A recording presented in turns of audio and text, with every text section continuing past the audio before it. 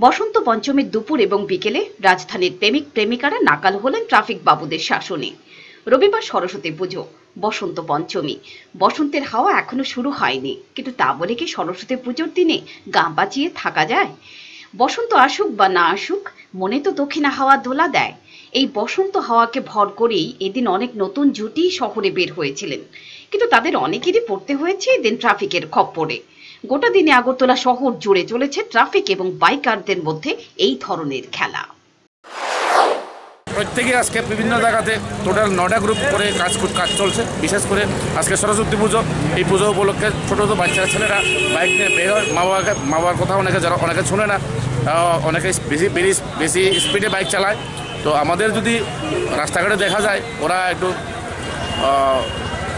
এই যে বিভিন্ন অ্যাক্সিডেন্ট বা দুর্ঘটনাতে হওয়ার সম্ভাবনা কম থাকে। রিপোর্ট চ্যানেল দিন রাত